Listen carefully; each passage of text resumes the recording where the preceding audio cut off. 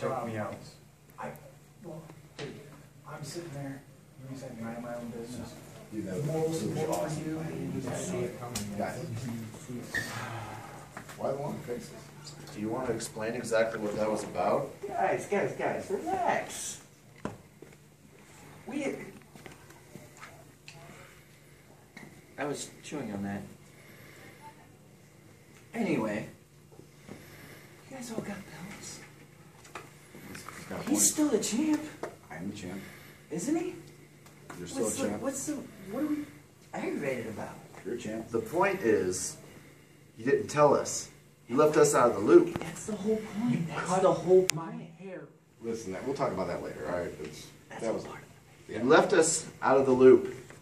You made us look kind of foolish. Well, how do you If- we if we would have let you in on it, it could have been spread around the whole world. Who knows? He could be a mole.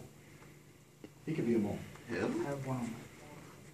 That's besides the point, guys. Well, the, the point. The point is, guy. you keep us in the non, especially me. I am the boss. Hey, buddy.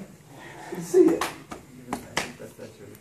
Guys, thanks for the emails, the text messages, the Facebook posts, MySpace. You're welcome.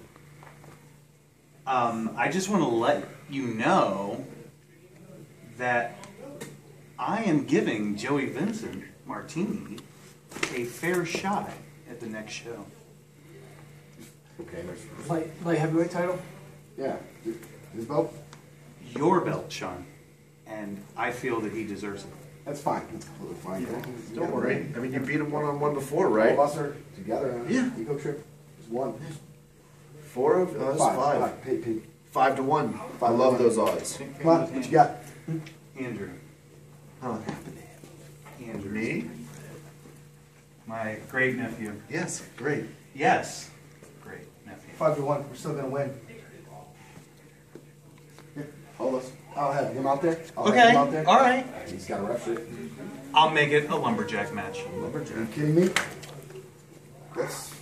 I look stupid in plaid. Not that kind of lumberjack. The one where the ring is surrounded by superstars from RAPW.